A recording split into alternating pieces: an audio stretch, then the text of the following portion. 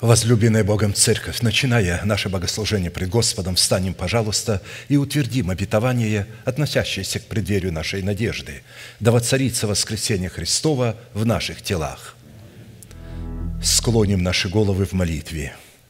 Дорогой Небесный Отец, во имя Иисуса Христа, мы благодарны имени Твоему Святому за вновь представленную привилегию быть на месте всем, которое очертила десница Твоя для поклонения святому имени Твоему. И ныне позволь наследию Твоему во имя крови завета подняться на вершины для нас недосягаемые и сокрушить всякое бремя и запинающий нас грех. Да будут прокляты в этом служении, как и прежде, все дела дьявола, болезни, нищета, преждевременная смерть, демоническая зависимость, всевозможные страхи, депрессии, разрушение, косность, невежество – все это да отступит от шатров святого народа Твоего. И ныне встань, Господи, на место покоя Твоего Ты и ковчег могущества Твоего, и да облекутся святые Твои спасением Твоим, и да возрадуются пред лицом Твоим – дай нам больше от Духа Твоего. Пропитай нас Духом Твоим святым, позволь нам найти светлое лицо Твое. Я представляю это служение в Твои божественные руки. Веди его рукою превознесенную, великий Бог, Отец и Дух Святой. Аминь. Да благословит вас Господь, можете садиться.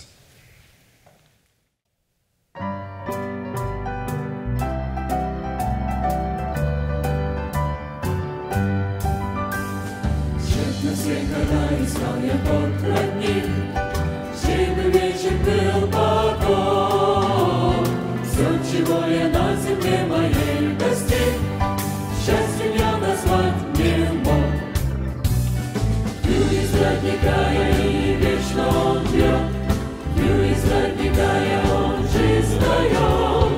Радостно хожу я, воду пью живую из источника, что Бог мне шлет пустыне жизни больше не блуждать. Я изведал счастья вкус, Вечная дана мне Богом благодать,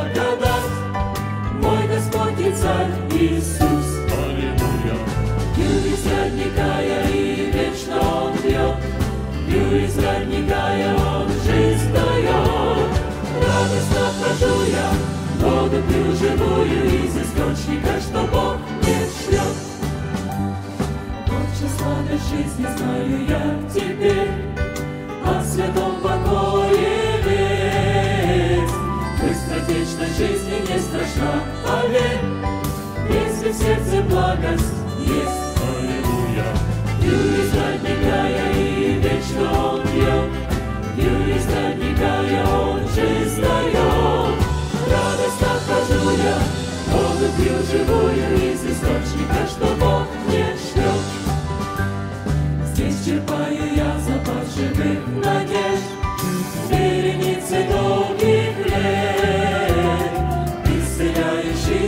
святой рубеж, Для души уставшей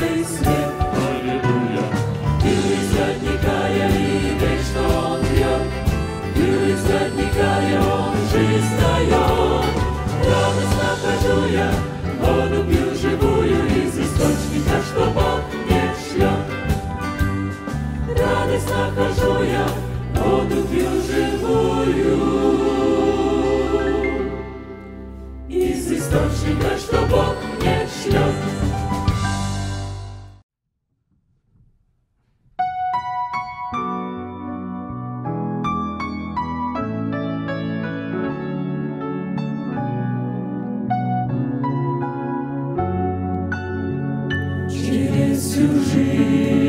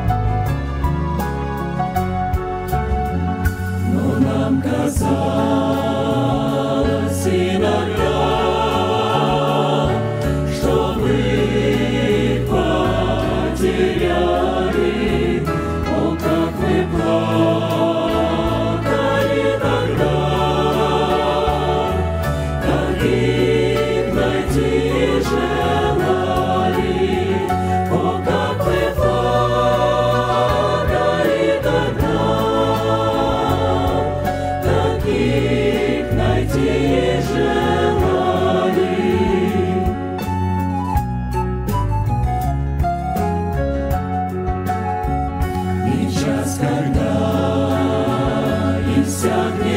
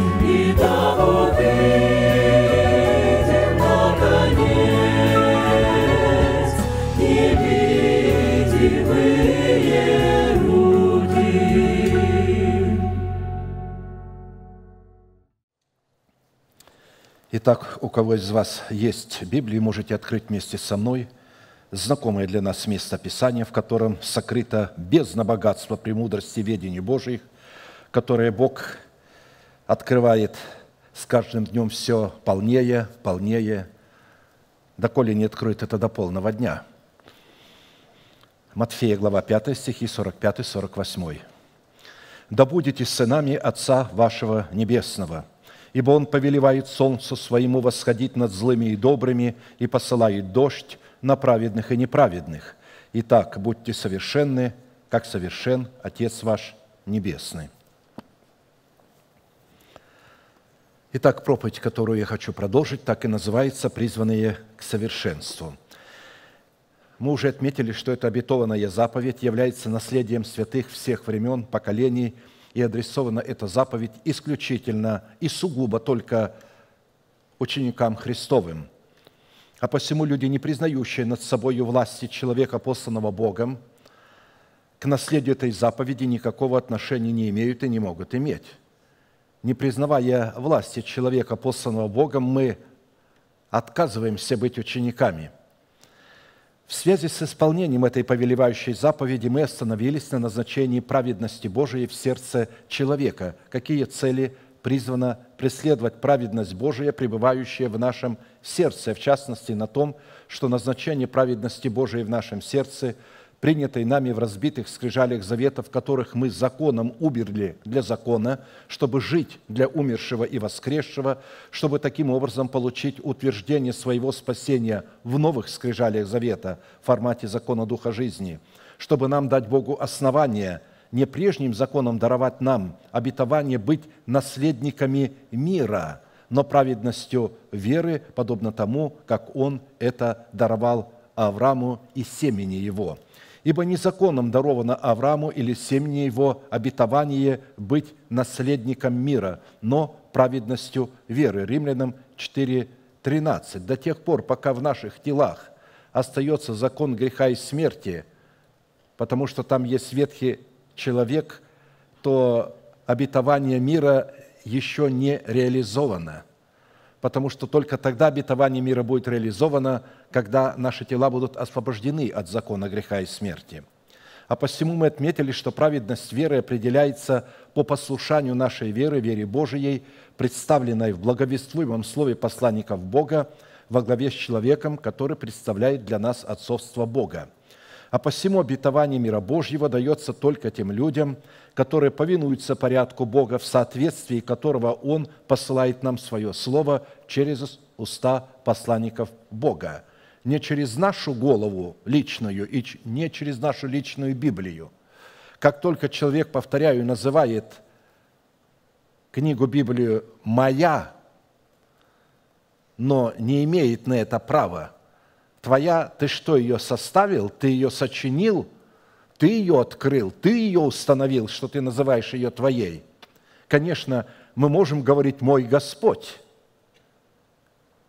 но тогда мы должны подтвердить, что действительно это Господь наш. Там есть порядок, по которому мы можем жить. И как только этот порядок отвергается, и мы начинаем полагаться на свою собственную голову, то мы хуже всякого нечестивого и беззаконного человека. Таким образом, завет мира в сердце человека – это результат послушания его веры, вере Божией в словах посланников Бога.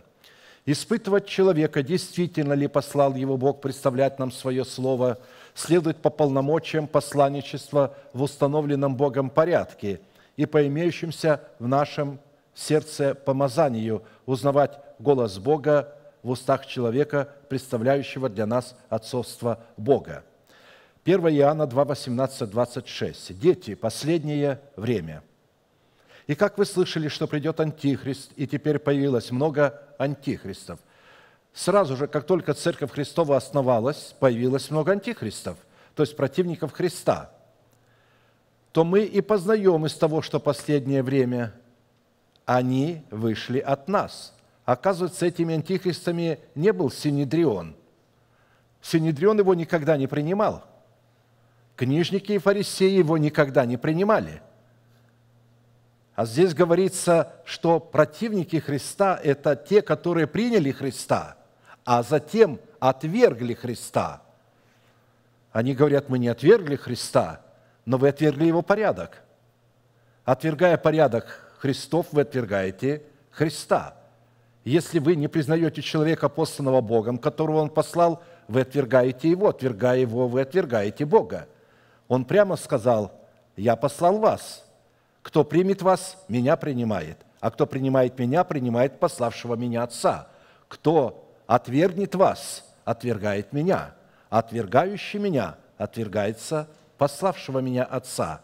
Как видите, Сегодня мы имеем мощные союзы и связки. Это люди, которые вышли от нас. Я не имею в виду в прямом смысле из нашего общения, а вышли из церкви неправильным путем, бросив ей вызов, насмеявшись над ней, надглумившись над ней, объявив ее еретической и вышли из нее. Вышли особенно не потому, что она еретическая, а потому, что определенные люди, нечестивые появились, которые хотели занять место пасторов. И так как им не удавалось, то они увели за собой людей, разделяя церкви. Поэтому все церкви, которые созданы путем разделения, которое произошло не по учению Иисуса Христа, пришедшего по плоти, это синагоги сатаны – они наполнены антихристами. Это плевелы, связанные в связке. Они вышли от нас, но не были наши. Ибо если бы они были наши, то остались бы с нами, но они вышли от нас. И через то открылось, что не все наши. Впрочем, вы имеете помазание от святого и знаете все. То есть вы имеете мудрость и знание. Это я написал вам об обольщающих вас. Итак, посредством праведности веры завет мира, представленный в наследии мира, призван пребывать и являться в сердце человека доказательством, что мы дети Божии. Вот если этот есть мир, который ничто не может поколебать, при любых потерях, при любой клевете, при любой лжи, которую вас обольют, а у вас остается мир. И вы можете радоваться во время этого, что несете поношение, принимаете поношение. Потому что почему вас обвиняют, почему обливают вас ушатом грязи? Потому что это делали и со Христом. И вы должны понимать, что это ваше отличие. Не надо пытаться от этого избавляться. Просто поблагодарите Бога за привилегию, что наконец-то вы удостоились пострадать за Его имя.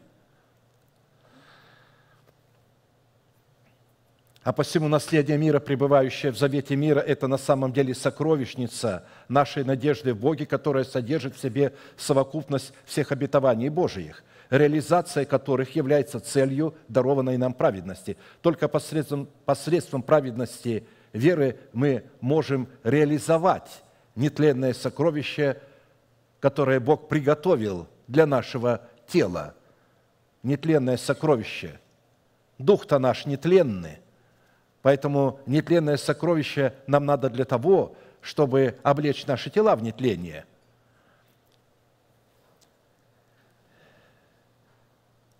Таким образом, именно праведность посредством мира Божия, который содержится в завете мира, может и призвана соблюдать наши сердца и наши помышления во Христе Иисусе. Каковы мысли человека, таков и он.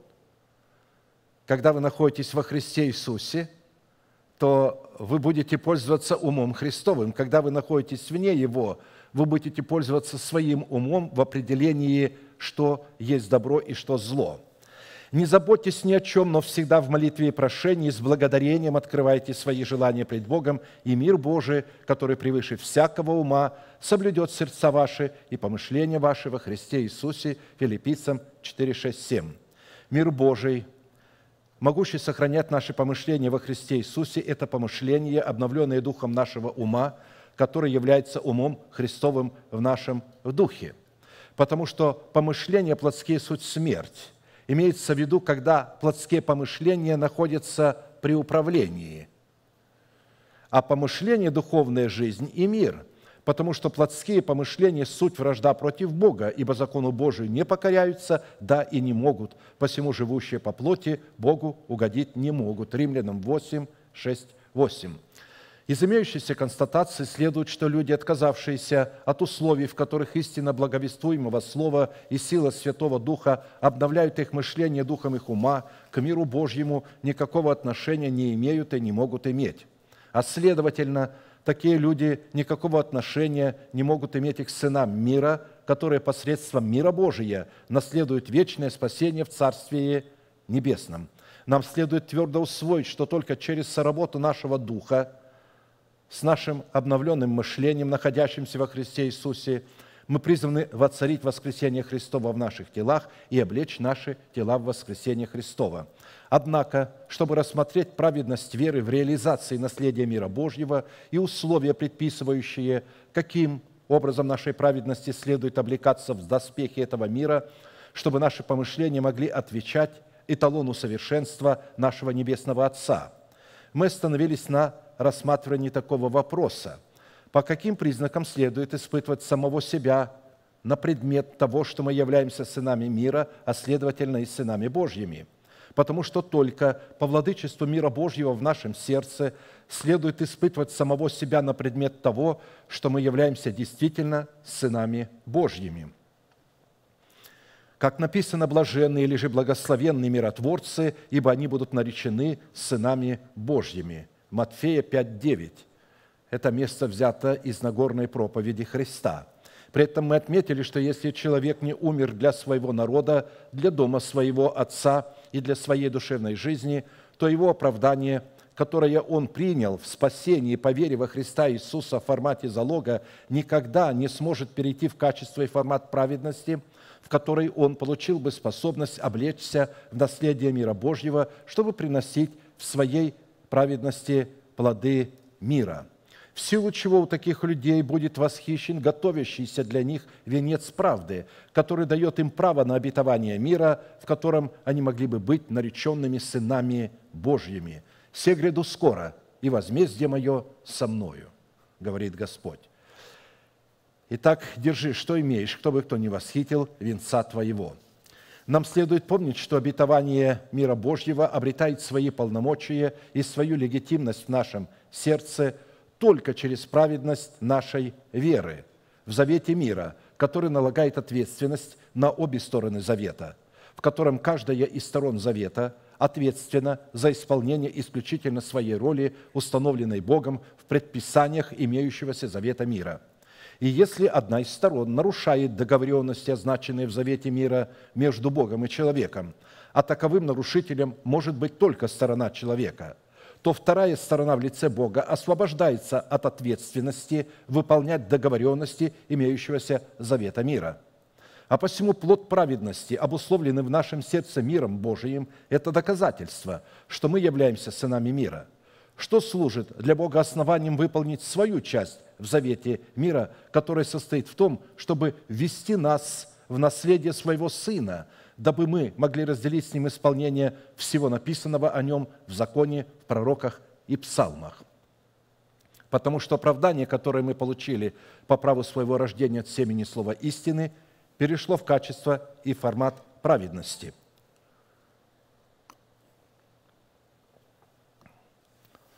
И именно в этой праведности мы обрели способность приносить плоды мира в отношениях с Богом и со всеми окружающими – как написано, старайтесь иметь мир со всеми и святость, без которой никто не увидит Господа. Евреям 12, 14.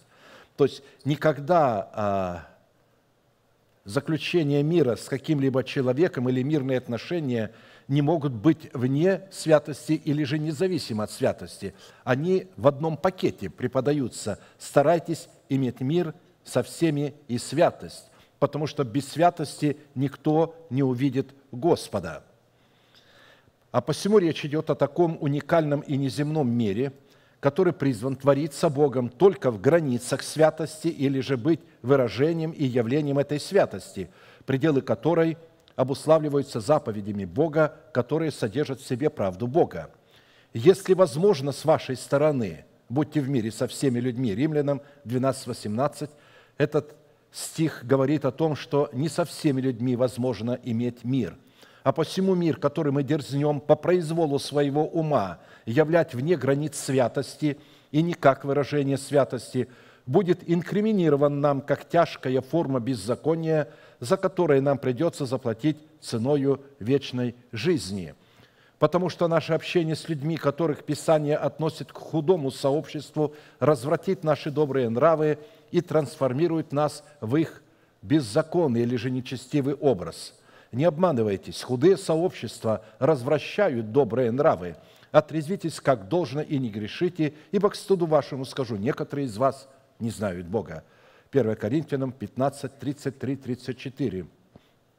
Те люди, которые а, стоят на позиции толерантности, что мы всех должны любить, Писание говорит, что они не знают Бога. Они не имеют мира в сердце Божьего. Они обольщены, и они маршируют в преисподнюю.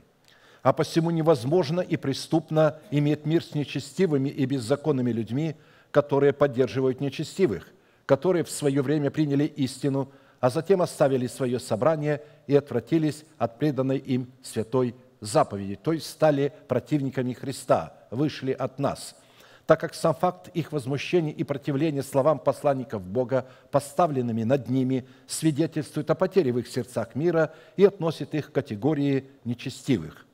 А нечестивые, как море взволнованное, которое не может успокоиться, и которого воды выбрасывают ил и грязь. Нет мира нечестивым, говорит Бог мой. Исайя 57, 20, 21, и это не единственное место – в определенном формате мы уже рассмотрели шесть признаков, по которым нам следует судить и испытывать самих себя на предмет того, что мы являемся сынами мира, а следовательно и сынами Божьими, и остановились на рассматривании седьмого признака. Это по способности обличения своей сущности в святую или же в избирательную любовь Бога. Колоссянам 3, 14, 15. «Более же всего облекитесь в любовь».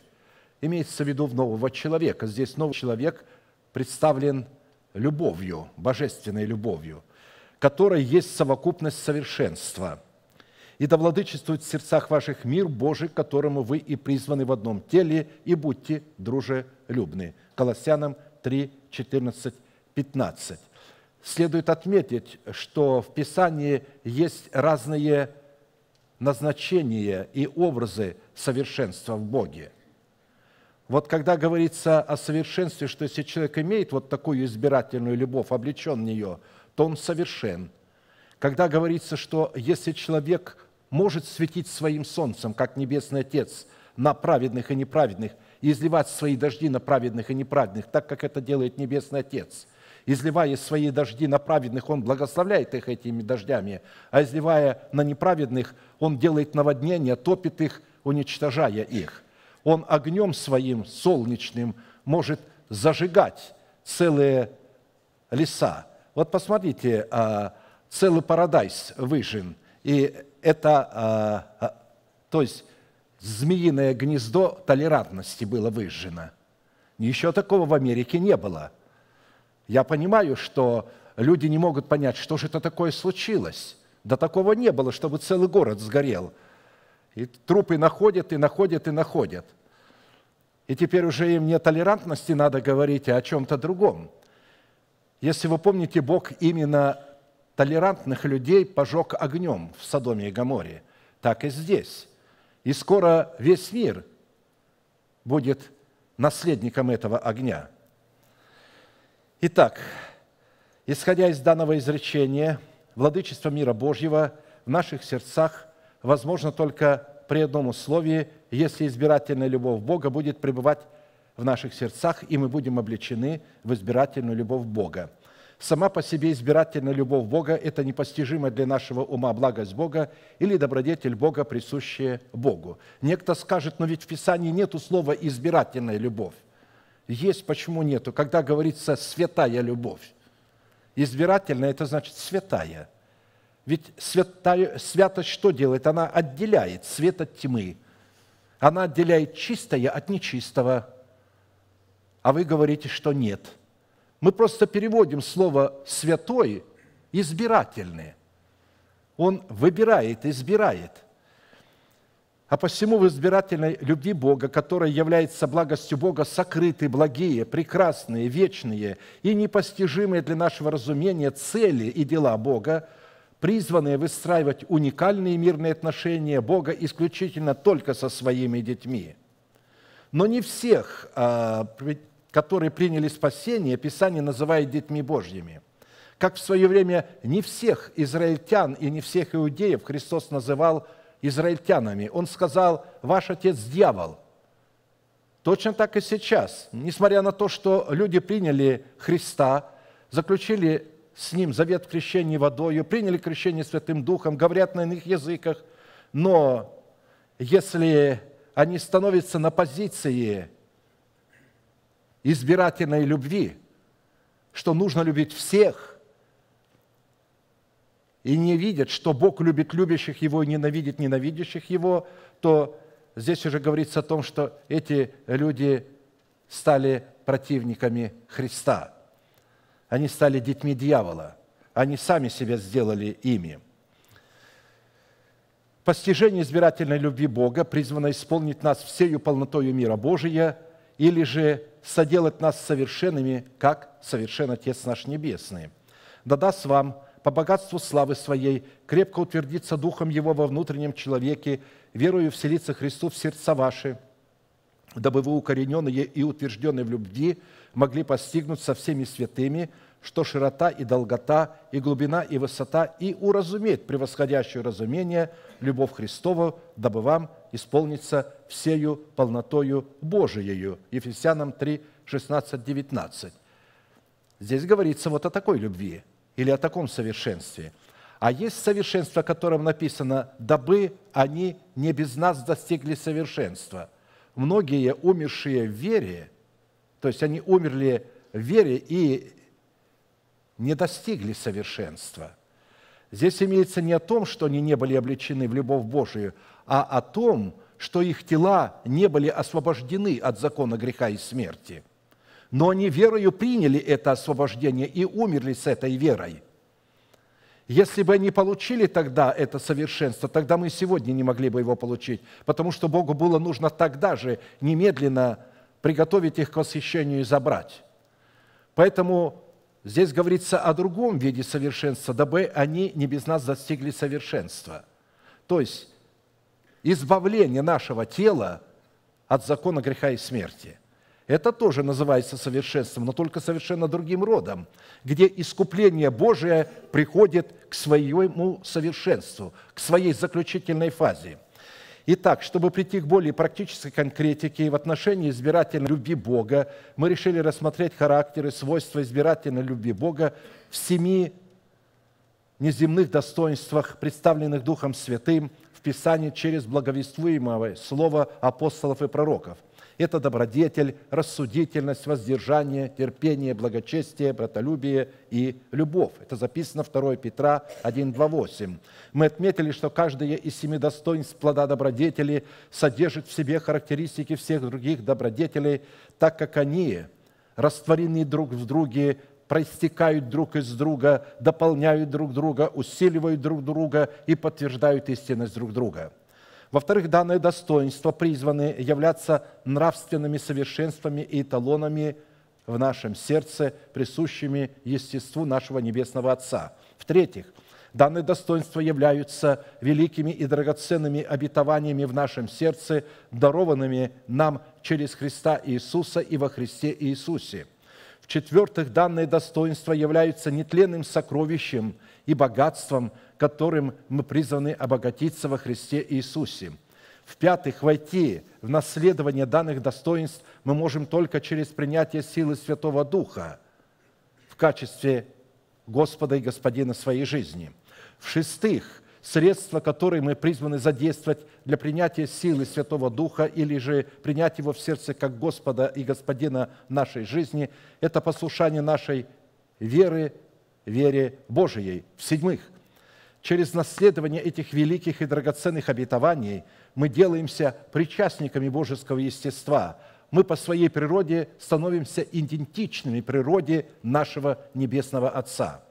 Ибо избирательная любовь Бога, выраженная в семи земных достоинствах и характеристиках, ничего общего не имеет и не может иметь с природой человеческой любви, исполненной эгоизма, корысти и непостоянства – в силу этого именно избирательная любовь Бога в формате семи неземных достоинств призвана воцарить воскресение Христова в наших телах и облечь наши тела в воскресение Христова в лице нашего нового человека в измерении времени. Достоинства избирательной любви Бога не идут ни в какое сравнение с толерантной любовью человека – Ибо достоинство избирательной любви Бога – это извечно сущностные достоинства и свойства нашего Небесного Отца – и его все испепеляющей святости и всего того, что исходит от Бога, потому что Бог есть святая любовь, отделенная от всего того, что человек называет любовью. И такая непостижимая для нашего разума трансцендентная любовь Бога определяется Писанием как совокупность всех совершенств. Что указывает на тот фактор, что избирательная любовь Бога поставлена Богом во главу всех имеющихся у Него совершенств, обусловленных Его благостью, Его добродетелью. Более же всего облекитесь в любовь, которая есть совокупность совершенства. Совокупность совершенств, в отличие от э, толерантной любви Божией по отношению к семи достоинствам, добродетели безусловно – и в отличие от толерантной и эгоистической любви человека, безусловность избирательной любви Бога в семи достоинствах добродетели отличается тем, что она наделена палящей ревностью Бога, Его всеведением, Его абсолютной мудростью, которую никоим образом невозможно использовать в порочных, корыстных и эгоистических целях человека. Поэтому, если любовь Божия безусловная, то она только безусловная к тем людям, которые обладают вот этими семью добродетелями. в то время как толерантную любовь человека к человеку весьма удобно использовать в корыстных и эгоистических целях. Вот как на страницах Писания определяется крепость любви Божией. «Положи меня, как печать на сердце твое, как перстень на руку твою, ибо крепка, как смерть, любовь». Речь идет о любви Божией. То есть положите ее, то есть здесь говорится об обличении, а здесь говорится, положи ее как печать на сердце. Люта, как преисподняя ревность этой любви, стрелы ее стрелы огненные, она пламень весьма сильный, большие воды не могут потушить любви, и реки не зальют ее. Если бы кто давал все богатство дома своего за любовь, то он был бы отвергнут с презрением. Песни песней 8, 6, 7. Мы отметили, что степень силы любви Божией определяется, познается по степени силы ненависти Божией ко злу и злодеям, творящим зло. Ты возлюбил правду и возненавидел беззаконие. Бог любит любящих Его и ненавидит ненавидящих Его. Потому что только любя то, что любит Бог, и ненавидя то, что ненавидит Бог, мы сможем выразить реакцию Бога на добро и на зло. Можем быть солнцем которое светит на праведных и неправедных, и дождем, который изливается на праведных и неправедных. Ибо избирательна любовь Бога по своей неизменной природе в формате семи сверхъестественных достоинств призвана привести нас в полноту возраста Христова или же в совершенство, присущее нашему Небесному Отцу. Учитывая при этом, что эти семь достоинств добродетели не имеют аналога в земном измерении человеческого лексикона, то есть мы не можем найти их определение ни в каких словарях мира. Любовь Божия является основанием, стержнем и атмосферой нравственного и незыблемого закона, который раскрывает в нашем сердце сущность Бога и сущность Его неземного Царства. И это не все. Любовь Божия Агапи – это суверенная любовь, которая является безусловной только по отношению к тем человекам, которых она избирает волеизъявление своего предузнания и предопределения – благодаря своей суверенности избирательная любовь Бога никогда не нарушает суверенных прав в отношениях с теми человеками, которых она избирает, и никогда не позволяет нарушать суверенные права своих собственных границ, обусловленных палящей святостью.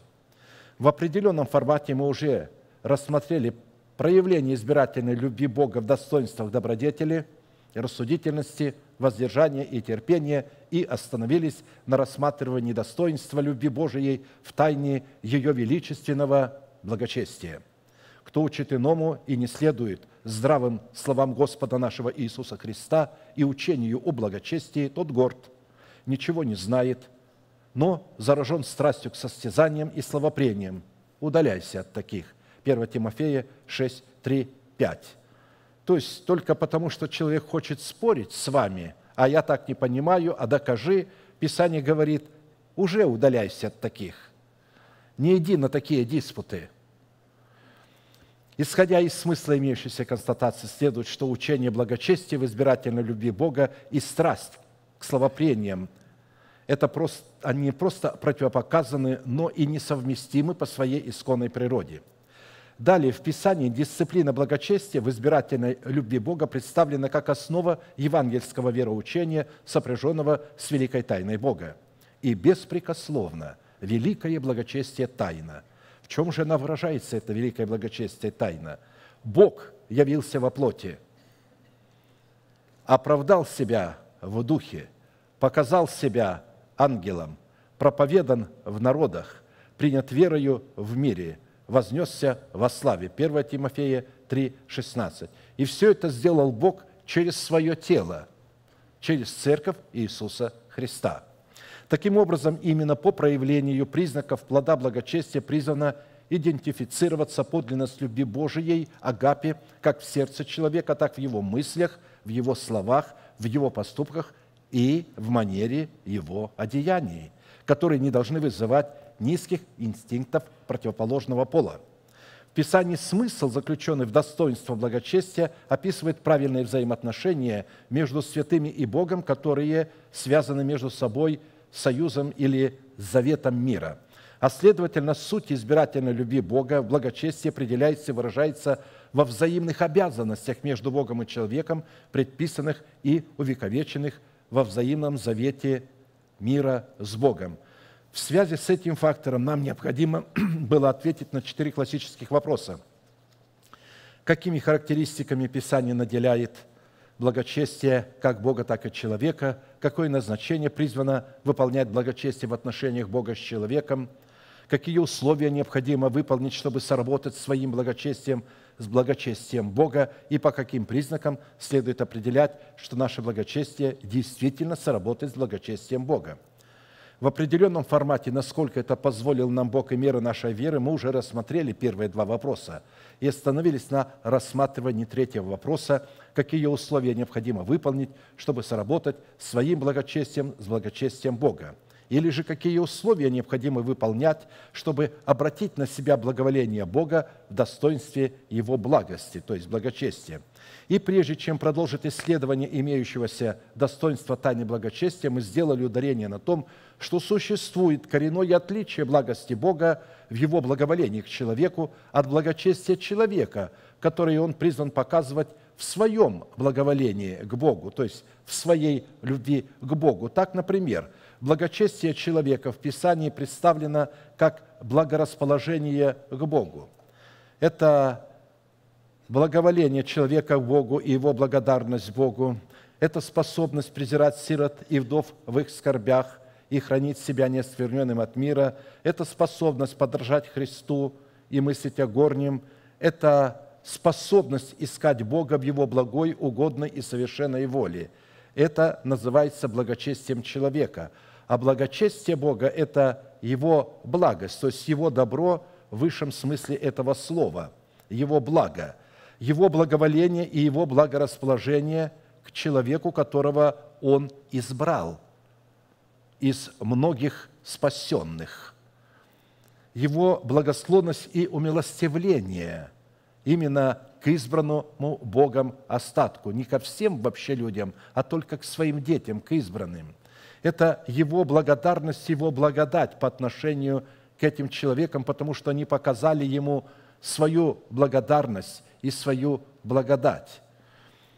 Это его доброе дело, его благое даяние в искуплении, которое он явил избранному Богом остатка. Это его добро в его абсолютном смысле слова, то есть его благость.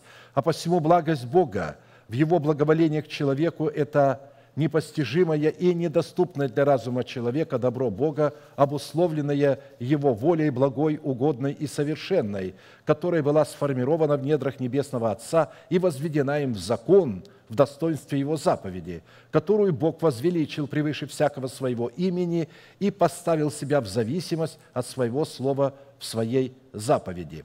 Таким образом, благость Бога в достоинстве Его заповеди – возведена была Богом в закон в первую очередь для самого себя, для своего Сына и для Святого Духа, и для избранного Богом остатка, который Он в своем всеведении предузнал и предопределил, чтобы они были подобными образу Сына Его, чтобы Он был первородным между многими братьями, то есть между многими детьми Божьими – Ибо кого он предузнал, тем и предопределил быть подобными образу Сына Своего, дабы он был первородным между многими братьями. Римлянам 8, 29.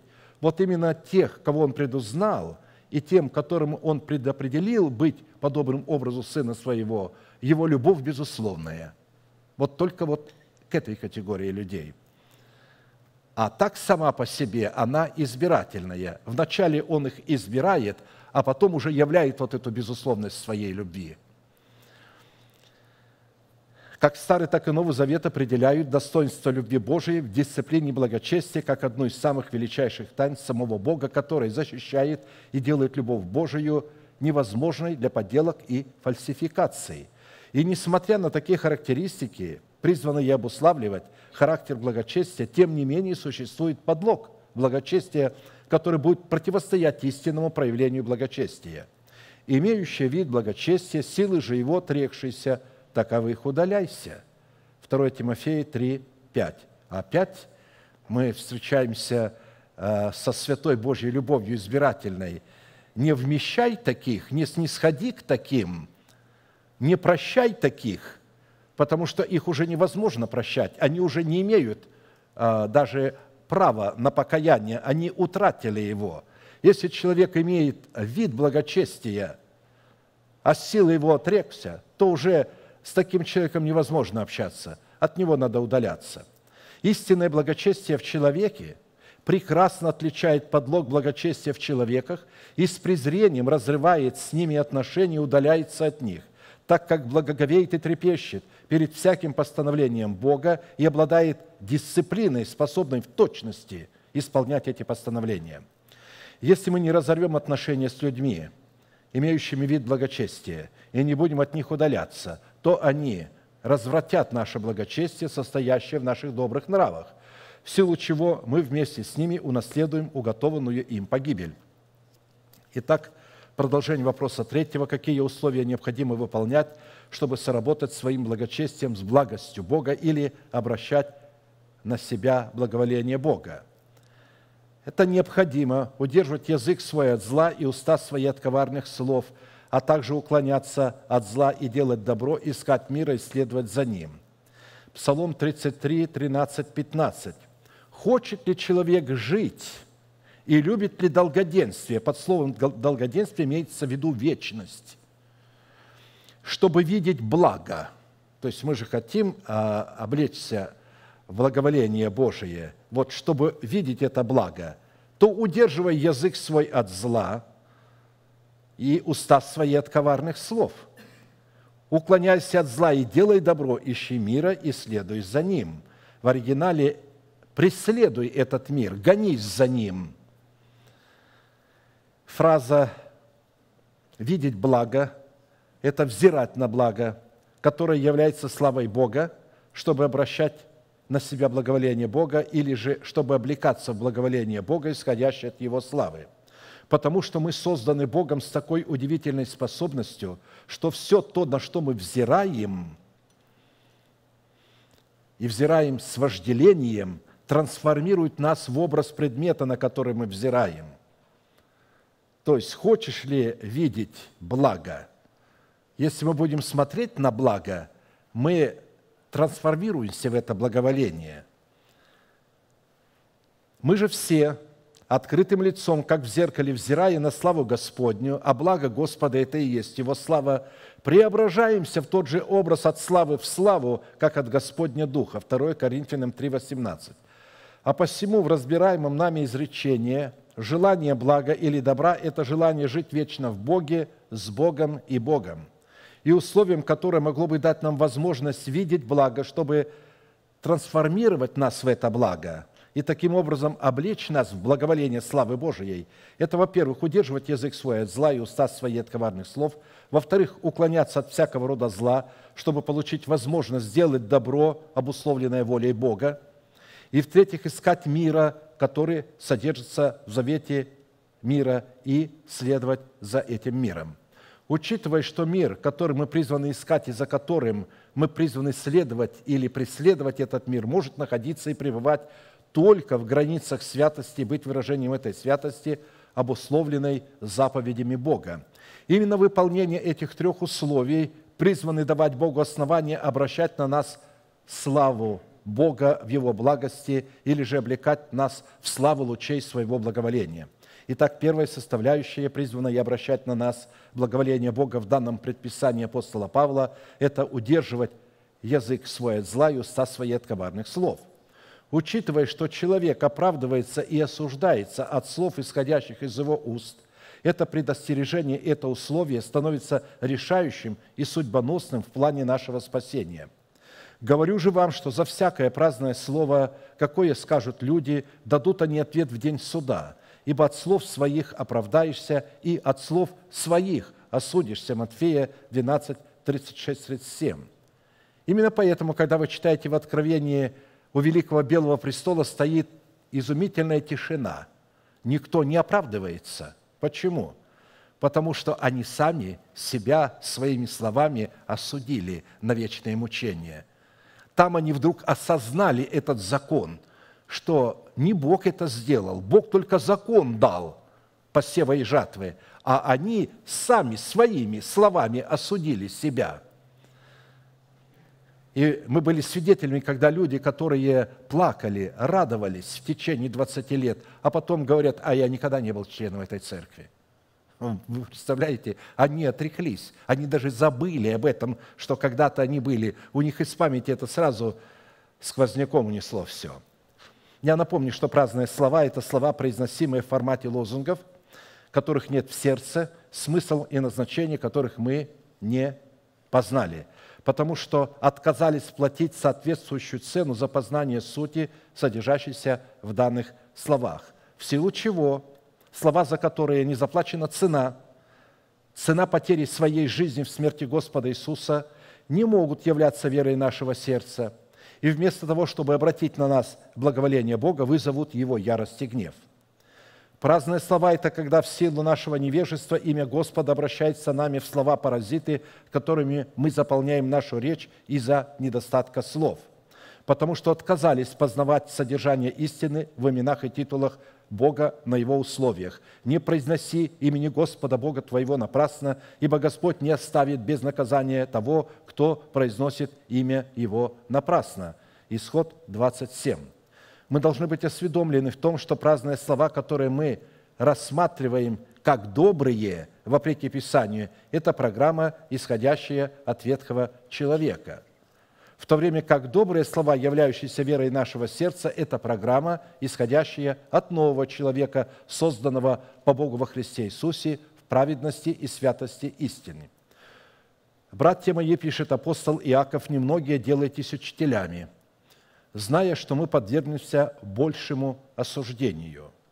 То есть оригинал имеется немногие, не все делайтесь учителями, а только те, которых Бог призвал быть учителями, помазал быть учителями.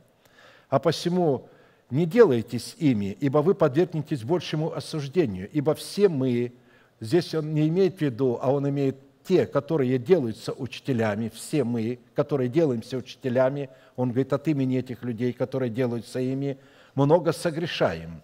Кто не согрешает в слове, тот человек совершенный, могущий обуздать и все тело. Вот мы влагаем удила в рот коням, чтобы они повиновались нам и управляем всем телом их. Но у этих людей нет удил, чтобы вложить в своему коню удила в рот – вот и корабли, как невеликие они, как не сильными ветрами носятся, небольшим рулем направляются, куда хочет кормчий. Так и язык небольшой член, но много делает. Посмотри, как небольшой огонь, как много вещества зажигает. И язык – огонь, прекраса неправды. Язык в таком положении находится между членами нашими, что скверняет все тело и воспаляет круг жизни, будучи сам воспаляем от гиенны то есть воспаляется а, язык от гиены, от ветхого человека, который является образом этой гиены. Ибо всякое естество зверей и птиц, присмыкающихся и морских животных укращается, и укращено естеством человека, а язык укротить никто из людей не может. Это неудержимое зло, он исполнен смертоносного яда. Иакова 3, 1, 8. То есть, это не значит, что невозможно его укротить написано, что из людей его никто не может укротить. Его может укротить только Бог. Когда мы в смерти Господа Иисуса Христа представляем свой язык вместе со всем своим естеством, и тогда погружаемся в смерть Господа Иисуса, и там в смерти Господа Иисуса ветхий человек умирает. То есть он не умирает в буквальном смысле слова, а мы умираем для него, а он остается в бездне, а мы в воскресении Христа восстаем вновь. И теперь уже нас, наш язык не будет воспаляться от этой гиены, а он будет возбуждаться от действия Святого Духа. И он будет возбуждаться от нашего Духа и будет говорить слова Божии, откровения Божие. А посему фраза «братья мои, немного делайтесь учителями», зная, что мы подвергнемся большему осуждению, ибо все мы много согрешаем. Кто не согрешает в слове, тот человек совершенный, могущий обуздать и все тело, говорит о том, что люди, которые сами себя сделали учителями, не будучи поставленными Богом, укротить свой язык не смогут. Вторая составляющая, призванная обратить на нас благоволение Бога, это уклоняться от зла. чтобы получить возможность сделать добро, обусловленное волей Бога. Видите, чтобы уклоняться от зла и таким образом получать возможность сделать добро, обусловленное волей Бога, необходимо разуметь, как отличать добро от зла, или же как не увлекаться всяким ветром учения, носителями которого являются люди, обладающие хитрым искусством обольщения. И если людям кажется, что отличать добро от зла очень легко и просто, люди глубоко заблуждаются. Чтобы отличать добро от зла, надо заплатить цену потери всей своей жизни. А иначе мы не сможем отличать добро от зла. И поэтому э, те, кто так полагает, это люди просто не знают Бога. Поэтому они так и говорят. Необходимо заплатить цену за право питаться молоком и медом. Производителями и продавцами, которых являются люди, поставленные над нами Богом, чтобы наставлять нас на путь истины. Только тогда мы сможем разуметь, что добро и что зло. Итак, сам Господь даст вам знамение. Все дева в чреве примет и родит сына, и нарекут ему имя Эммануил. Он будет питаться молоком и медом, доколе не будет разуметь, отвергать худое и избирать доброе. Исайя 7, 14, 15. То есть даже для Сына Божьего во плоти необходимо было подчинить себя Божьему порядку, чтобы его учили. Он будет питаться молоком и медом. То есть это говорит о том, что кто-то должен был давать ему это молоко и этот мед сверхъестественного происхождения. И только таким образом он сможет в свое время разуметь отвергать худое и избирать доброе. Третья составляющая, призванная обратить на нас благоволение Бога, это искать мира Божия, который содержится в завете мира, и следовать за этим миром или же гнаться за этим миром, искать этого мира. При этом, как я уже упоминал, что мир Божий может твориться только в границах святости, очерченной заповедями Бога, или же быть выражением этой святости. Старайтесь иметь мир и со всеми святость, без которой никто не увидит Господа. И, если возможно, с вашей стороны будьте в мире со всеми людьми. Я вновь повторяю это место Писания, потому что нам важно хорошо это понять, потому что многие, а быть может, не многие из нас все еще нарушают это постановление, противятся ему и находят какие-то места Писания для того, чтобы оправдать свое общение с людьми, которые нас оставили. А посему, исходя из пределов святости, искать мира Божьего и следовать за ним можно только следуя путем заповедей и уставов, которые предписывают, с кем и на каких основаниях мы можем иметь мир, а с кем следует разрывать отношения мира. Не обманывайтесь, худые сообщества развращают добрые нравы, отрезвитесь как должно и не грешите, ибо к студу вашему скажу, некоторые из вас не знают Бога. Худые сообщества – это люди, не признающие чина и порядка тела Христова в отношениях друг с другом, так как этот порядок является атмосферой Царства Небесного, призванного пребывать в человеках, имеющих органическое причастие к телу Христову – которым является конкретное собрание святых, не отделяющее себя от единства веры, не признающее чина. Вы знаете, в демократических структурах чин не признается. Они избрали этого человека пастором, и они же будут его пасти. Они не могут признавать его чин над собой и выше. Почему? Потому что они его избрали, они выше его. Они его избирают, они его поставляют. Обычно тот, кто избирает и кто поставляет, он выше того, кого он поставляет. Если Самуил избирал а, Саула или же Давида, Самуил был выше Саула и выше Давида. Но в демократических структурах пастор не является выше Синедриона, то есть выше братского совета. Братский совет выше. И он вынужден зависеть от этого братского совета. Не братский совет зависит от него, а он. Не он пасет братский совет, а братский совет пасет его. Не он учит братский совет, а братский совет его учит. Поэтому это очень опасно. Следующее условие, чтобы обратить на себя благость Бога в избирательной любви Бога, это необходимость возложить свое упование на Господа Бога, чтобы возвещать все дела Его. А мне благо приближаться к Богу, На Господа Бога я возложил упование мое, чтобы возвещать все дела Твои». Псалом 72, 28. Мы ищем, как обречься благоволение Божие. Из имеющейся констатации вот давайте посмотрим на вопрос, что это за дела, которые призваны стать в нашем сердце признаками нашего упования на Бога, чтобы обратить на себя благость Бога в Его благоволении – если человек не возложит свое упование на Бога, то, приближаясь к Богу, он не сможет испытать в присутствии Бога Его благость, а следовательно, он не сможет возвещать дела Бога, определяющие Его благость. Потому что Бог обращает свою благость только на тех человеков, которые возлагают на Него свое упование, в результате чего они при приближении к Богу испытывают на себе Его благоволение, которое дает им юридическое основание возвещать Его дела – а посему, чтобы уповать на Бога, необходимо иметь в своем сердце твердую надежду, выраженную во всех делах Бога, совершенных им в древних днях, в которых Бог явил для нас силу своего искупления. Потому что именно искупление, совершенное Богом в древних днях, призвано стать для нас тем непоколебимым основанием надежды, на которой будет зиждиться наше упование на Бога. Силу дел своих явил он народу своему, чтобы дать ему наследие язычников. Дела рук его истинный суд. Все заповеди его верны, тверды на веки и веки, основаны на истине и правоте. Избавление послал он народу своему, заповедал навеки завет свой, свято и страшно имя его. Псалом 110, 6, 9. Исходя из этого и других мест Писания, дела Бога, явленные им для искупления своего народа от греха и смерти, состоят в том, чтобы дать нам наследие язычников. Под наследием язычников подразумевается наше земное тело, освобожденное от ветхого человека с делами его, которыми являются язычники, представляющие худые мысли.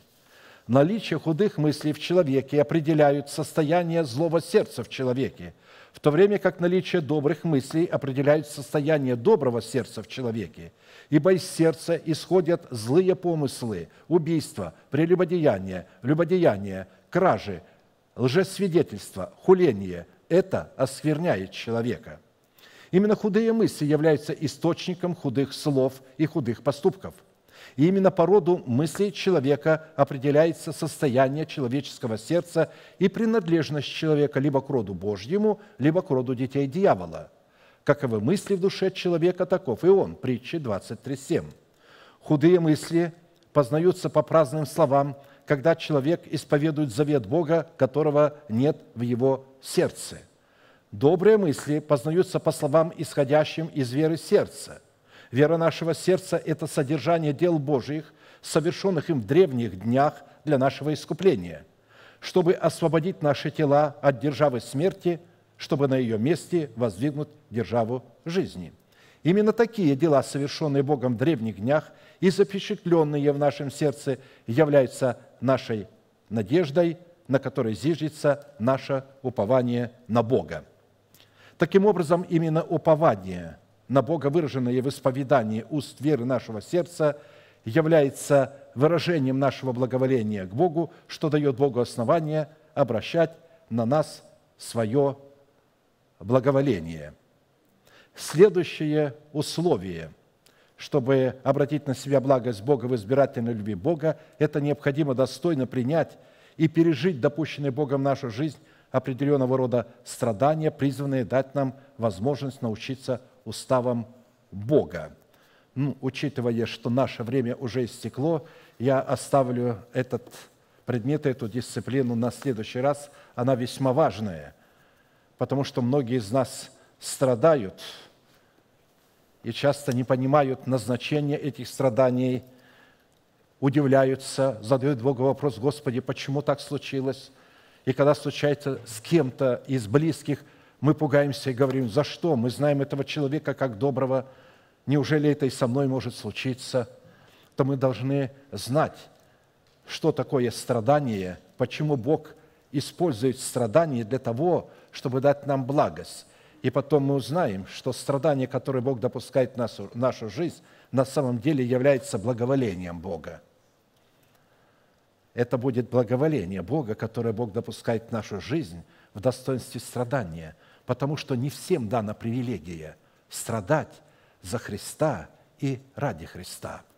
А теперь мы склоним наши колени, кому невозможно, наши головы будем молиться, и все желающие освободиться от позора греха, от зависимости греха, от зависимости ветхого человека, от зависимости своей души, освободиться от страха болезни, от бедности, от всего то, что грядет на этот мир, потому что этот мир скоро будет еще в более в худшем состоянии, чем он находится на сегодня.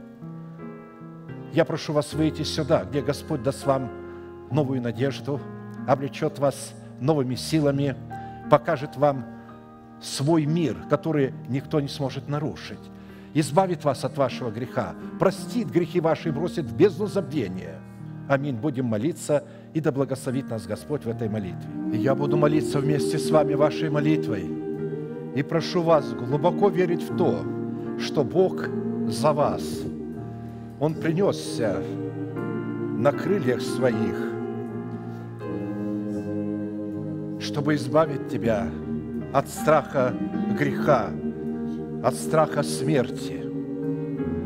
У Него есть достаточно сил, чтобы спасти тебя и довести тебя до своего царства.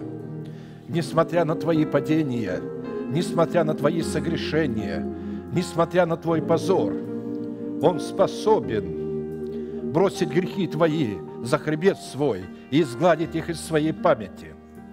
Он способен исцелить тебя – и восстановить твои силы. Он способен облечь тебя в одежды оправдания, дать тебе перстень на руку и обувь на ноги, и заколоть для тебя откормленного теленка. Глаза закрыты. Это элемент комнаты. Ладони подняты к небесам, знак того, что Господь желает, хочет и немедленно даст вам то, что вы просите – Молитесь вместе со мной. Небесный Отец, во имя Иисуса Христа я прихожу к Тебе с моей бедой, с моим грехом, с моим позором, с моей зависимостью, с моими страхами, с моей болезнью. Прошу Тебя, прости меня – омой меня, очисть меня кровью Твоего Сына. Я раскрываю мое сердце. Я принимаю Твое прощение. Я ненавижу грех. Я ненавижу ветхого человека с делами его. Да будет он низвержен из тела моего шумом. И да будет на этом месте – восстановлена держава правды, держава воскресения. я верю в это обетование. Я принял его сердцем моим, не отрекусь от него и буду держать его, буду хранить его, как зеницу ока моего. И я верю, что в свое время ты явишь мне эту милость. И прямо сейчас, перед небом адом, я хочу исповедовать, что согласно Твоего Слова я омыт, я очищен, я исцелен, я восстановлен, я оправдан, я спасен. Прощаются грехи ваши и беззакония ваши во имя Иисуса Христа.